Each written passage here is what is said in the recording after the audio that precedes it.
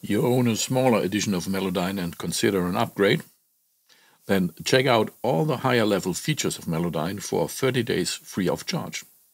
Here's how. Say you are currently on Melodyne Essential and you're working on this vocal here. Then go to the Help menu and look for a license into Trial.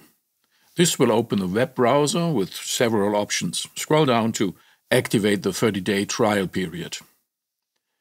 After filling out the form, the browser says you're ready to go.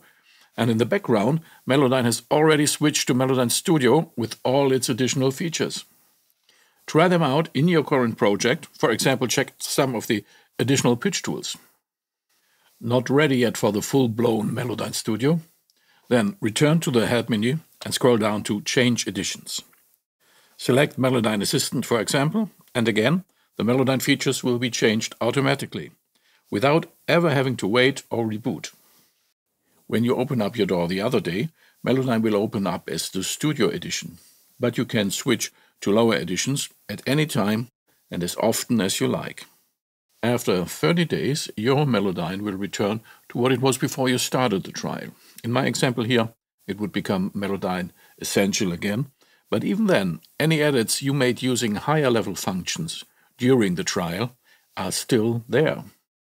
For example, if you change some pitch fluctuations in a blob, probably while trying out the features of Melodyne Assistant, this edit will still be there after you have switched back to Melodyne Essential.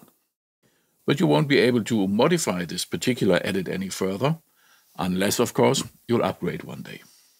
Now, check your calendar and see when you want to start your personal 30 days of Melodyne fun. Thanks for watching.